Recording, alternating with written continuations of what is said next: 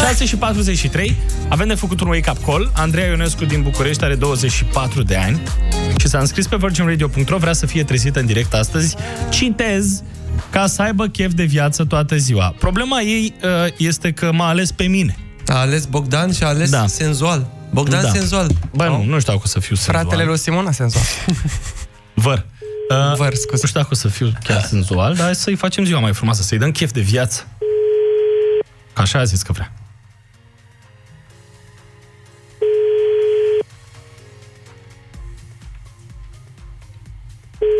Dacă ea nu răspunde, Da, Andreea, da. Neața, Bună dimineața.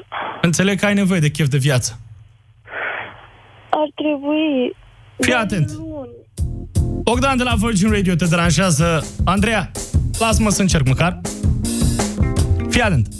Am dus eu gunoiul. Am plătit eu rata. E mai bine un pic? Am pus benzină, Asta ar fi super! am plătit întreținerea și am șters și praf.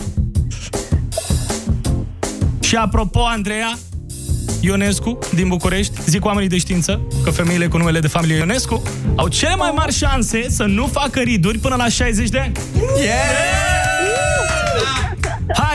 Parcă ai alt chef de viață, nu? Adevărat!